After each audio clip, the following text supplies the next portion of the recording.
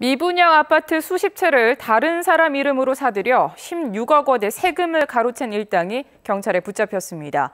부동산 매매업자로 등록하면 세무당국으로부터 부가세를 환급받는 규정을 악용했습니다. 김성기 기자입니다.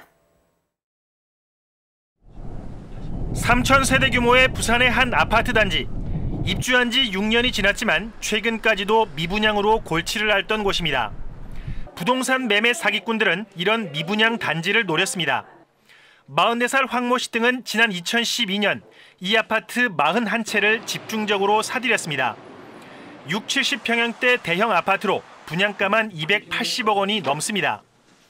돈을 주고 매수한 일용직 노동자들의 명의를 빌렸고 미리 부동산 매매업자로 등록까지 해뒀습니다. 매매 대금은 아파트를 담보로 제2금융권에서 182억 원을 빌려 충당했습니다. 그리고는 세무당국으로부터 부가세 16억 원을 환급받아 챙겼습니다. 개인이 아닌 사업자에게 적용되는 환급 규정을 악용한 것입니다. 이들은 또 건설사가 미분양 해소를 위해 주는 지원금은 물론 아파트 전월세 보증금까지 모두 28억 원을 챙겼습니다. 피해는 고스란히 금융권에서 떠안았습니다.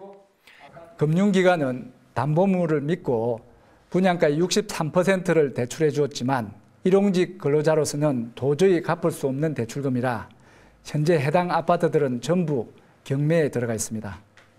경매가가 대출금에도 못 미치면서 금융기관은 십수억 원의 손해를 봤습니다.